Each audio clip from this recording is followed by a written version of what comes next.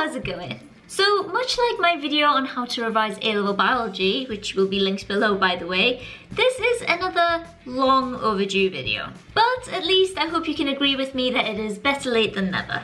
I have to be honest with you guys, when I was doing my A-level and AS chemistry, as much as I loved certain parts of it, there are other parts that I just found so challenging. So if you're in the same boat and you're either preparing for your exams or you're just starting your A-levels or whatever, I can honestly, honestly empathize with you so much. I feel your pain, but as I said also in my biology video, if I can get through it, so can you. And I just hope that by sharing some of the tips that helped me along the way and you know a bunch of things that I learned through doing my A-levels, I hope that by sharing that with you, it can just make your journey that little bit easier. So, just as a bit of an introduction for any of you guys who are new here, hi by the way, I studied chemistry, biology and maths at A-level and I also did a psychology AS. After I did my AS and A-levels, I went to Newcastle University to study biomedical sciences and now I'm doing my master's in cancer medicine at King's College London. So it kind of seems like I am forever a student, which is very true. But my point is that I've definitely had my fair share of exams. So I just hope that I can share with you a bunch of things I've learned to, you know, help you guys maybe. I have already made a video sharing with you a bunch of my generic tips and, you know, tricks and techniques and things like that. And I will link that video below. But for today's video, I wanted to share with you some of the things that I specifically did for AS and A-level chemistry. So let's just begin. Number one is go onto the website of your particular exam board and get a copy of the specifications. By doing this, you will automatically have a list of all of the things that the examiners want you to know. And that way, if you can, you know, pin it on your board or save it on your laptop, then that way you know what the examiners want and you know you have something to work towards. It's definitely worth doing this at the start of your course as well, but if you're already midway through and you haven't done that already, don't sweat it, it's not too late. Number two is get yourself a really good revision guide. When I was doing my A-levels, I was on OCR Salters, I believe, that was the exam board. And we got given this massive, crazy, chunky book, and I'll insert a picture of it here if I can find one somewhere. But that book was so big and so daunting. So what I did to kind of help me along the way is invest in some of the, you know, slightly more bite-sized revision guides. I was quite fortunate because my school was selling them at a discount, but I think you can get them on Amazon or eBay. And just for reference, I'll insert a picture of what that looked like here. Honestly, revision guides are just great in general because they can just make the information seem a lot less daunting. Number three is make notes. This does seem like a bit of an obvious one because I feel like a lot of people like to make notes anyway, but the thing that I would say specifically about this is use your big textbook that your school gives you but in addition to this also use your revision guide but I do have to emphasize though that the whole point of making notes is that the process of making notes is what gets your brain engaged and that itself is what helps you learn so when you come to make your notes, don't bother just copying out everything in the textbook. Try to engage yourself with the information a bit more by rearranging the words and writing things in a few different ways. Four is, as you go through your revision, create yourself a list of keywords. Now, these keywords can be important words that you need to learn, or they could be words that you find particularly difficult, or they could be quite simple words that you know as soon as you see them, they're going to spark off X, Y, and Z of, you know, the kind of things that you need to learn. Either way, make yourself a list of keywords and put it somewhere where you can see. So on your wall maybe, again on your phone, on your laptop, just so you're constantly being kept up to date. Or I guess a better way of putting it is that you're constantly being engaged with the information.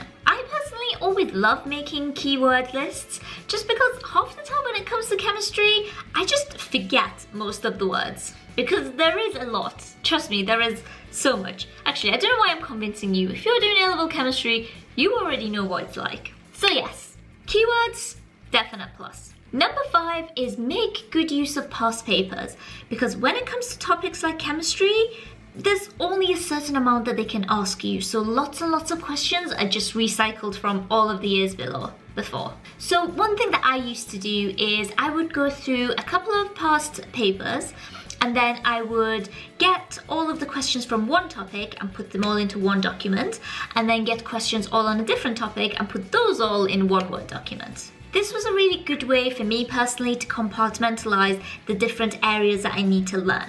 And then that way it meant that by the time I'd finished making notes or reading my notes for one section, I can immediately go and answer questions for all of that one section before moving on to the next. Number six, and this again involves the use of past papers, a really good way is just going through a past paper, or maybe two or three, and answering all the questions and then when you come to mark it, have a look and see what your weak points are. And all of the questions that you got wrong after you've already been through your notes and things like that, put all of those questions into a Word document. Now, this is something I did and I labeled that document common mistakes document.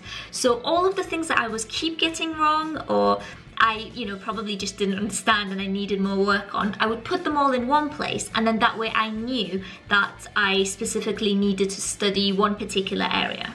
See, I think this is a really important thing to do, especially in chemistry, because unlike biology where sometimes you might not even need to understand the context of things. Sometimes just maybe remembering a word or, you know, remembering a series of events can get by, get you by. But in chemistry where you automatically require a deeper understanding of something, it's really, really important to identify your weaker areas. Number seven is when it comes to learning things like stru structural compounds or chemicals or things that are just generally quite nitty gritty, find a fun way to present them to yourself. So use colors or pictures and you know make them look pretty or stick them on your wall. Now I can't remember if I've still got the picture or not. If I do I will put it right here. But when I was doing chemistry and I think we needed to learn um, the structure of amino acids. I remember I made a picture of all of them and just stuck them on my wall. I really hope I can find that picture. Future Atousa Edit, please look hard and see if you can find that picture. But if not, just pretend that there is a wall here full of lots of uh, lovely pictures of amino acids. Number eight is test yourself in multiple ways. So what I mean by this is you can either do question and answer cards, you can ask a friend or family member to verbally ask you questions, or you can print off blank diagrams that you can annotate. But either way, it's so important to test yourself. And by testing yourself using a number of different methods, it just means that you're engaging with the same information, but in lots of different ways. Last but not least, number nine, and in my opinion, this is quite an important one, and this is learn to be resourceful when it comes to getting answers to your questions. As I said, chemistry can be quite difficult in the sense that sometimes there are certain things that you can't just memorize or you can't just look and think, oh, okay, I get this now. Some parts you really need to dive deep into and you need it to be explained to you. Obviously, my first suggestion would be to find your teacher and ask them for help, although I know that some people struggle with this because I used to.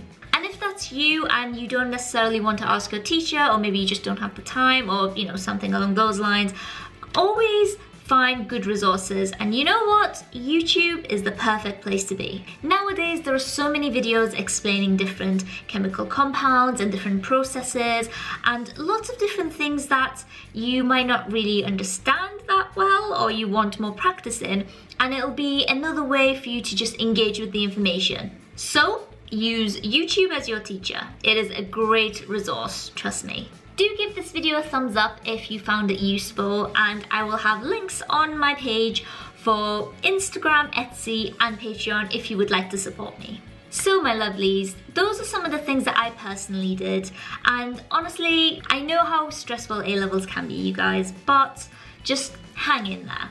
I wish you all the best of luck if you're going through that right now. And until next time guys, take care and I'll see you later. Mwah.